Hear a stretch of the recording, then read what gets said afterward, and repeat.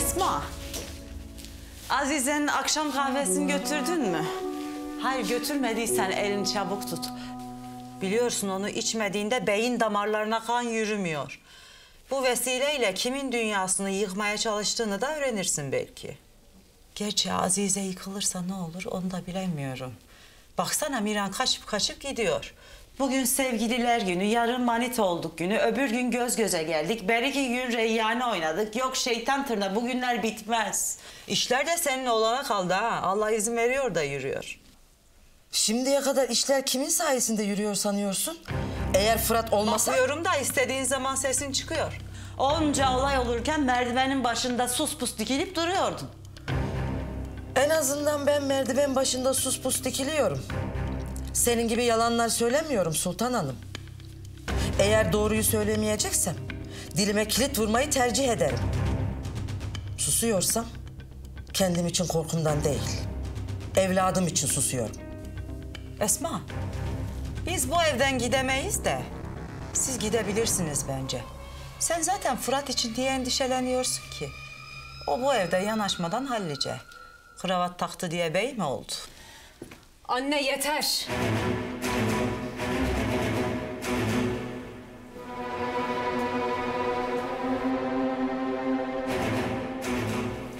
Sizin benimle derdiniz ne Sultan Hanım? Benim seninle ne derdim olacak? Ben bu evin hanımıyım. Evet doğru. Sen bu evin hanımısın. Ama Fırat da oğlu. Benim kardeşim.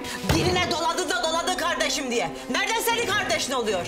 Ben mi doğurdum? Senin bir tane kardeşin vardı o da öldü.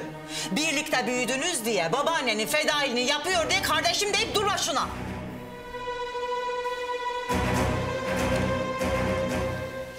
Hayır Fırat. Sen hiçbir yere gitmeyeceksin. Gönül tamam. Tamam sakin.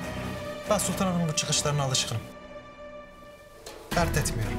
Ama ben dert ediyorum. Gönül, belki de annen öyle demek istemedi. Yo, tam da bunu demek istedim. Benim senin korumana ihtiyacım yok. Fırat yukarı, Fırat aşağı. Ne Fırat'mış arkadaş? Anne. Bir daha Fırat hakkında bu şekilde konuşmayacaksın. Onun bizim için önemini kabul edeceksin. Onu bu ailenin bir evladı olarak göreceksin. Görmezsem ne olur? Görmezsen beni de karşına alırsın. Kızım sen benim karşımdasın zaten. Senden emir alacak değilim. Fırat malların üstüne çöktü diye onu kendine yakın görüyorsan görme. O mallar zaten senin babanın sana kalan hakkı. Kimse elinden alamaz. Sultan Hanım. Benim kimsenin malına mülküne çökmüşlüğüm yok. Zamanı gelince hepsini vereceğim. Ben de uğraşıyorum ki o vakit gelince elimde verecek mal mülk kalsın. Göreceğiz Fırat. Göreceğiz.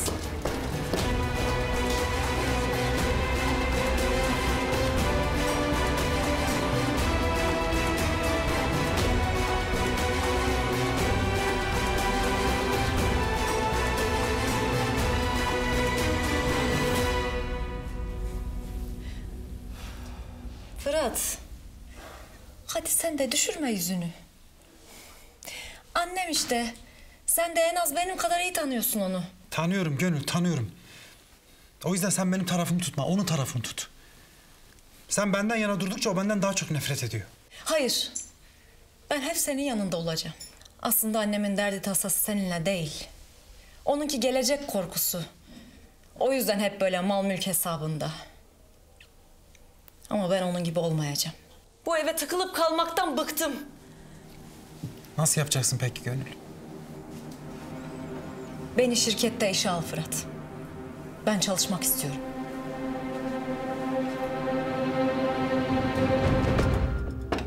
Gel. Hanım, İstanbul'daki adamımızdan haber geldi.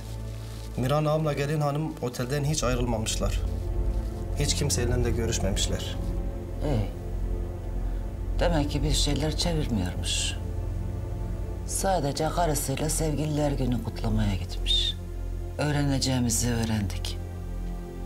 Mira'nın peşine saldığımız adamı geri çek. Bir de kendini belli edip Mira'nı şüphelendirmez. Baş üstüne hanım.